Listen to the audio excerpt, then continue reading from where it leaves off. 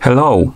In front of me I have Apple Watch Series 8 and I'm gonna show you how to change the voice of the Siri voice assistant on this watch.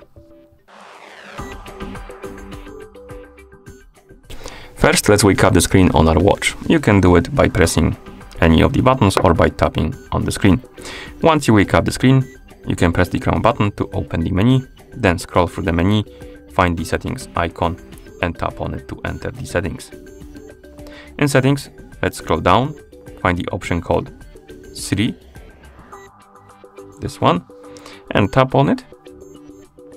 And here, scroll down and find the option called Siri Voice and tap on it to enter. And here we have different uh, varieties of voices and also the type of voices. So basically variety is something like an accent and the type of voice is um, different voice. So we can select, for example, British. Hi, I'm Siri. Choose the voice you'd like me to use. And we could select something like Hi, voice I'm 1. Siri. Choose the voice you'd like me to use. Okay. And it works the same for different languages. So for example, if you go back, change the language to something else, maybe Dutch, then go back, tap on Siri voice, Hoi, ik ben Siri. Hoi, ik ben Siri. Kies welke stem ik moet gebruiken.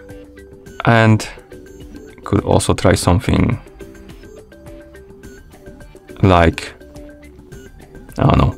Basically, in English United States, you have the most uh, variety options because I don't know because you have different accents like American, Australians, British, Indian, Irish, South African, and also you have certain amounts of voices for each variety, as you can see. So American has the most.